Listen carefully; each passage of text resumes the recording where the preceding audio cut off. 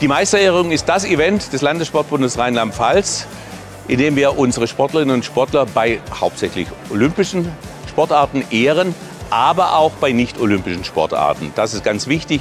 Wir wollen damit zeigen, wir stehen für Vielfältigkeit im Sport, für verschiedene Disziplinen. Das zeichnet Rheinland-Pfalz aus. Darauf können wir stolz sein.